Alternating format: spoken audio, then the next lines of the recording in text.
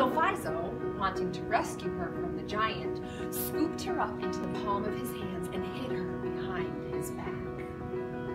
The giant walked to Jizo.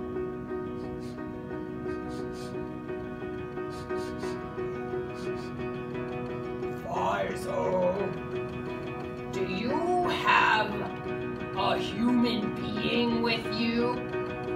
Nope, no human being.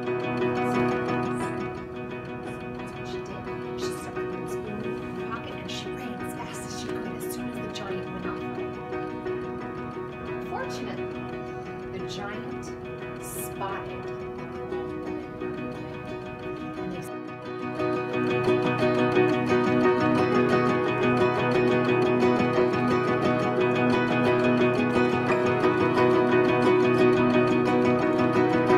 Have you seen my dumpling?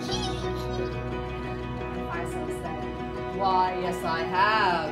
It rolled right past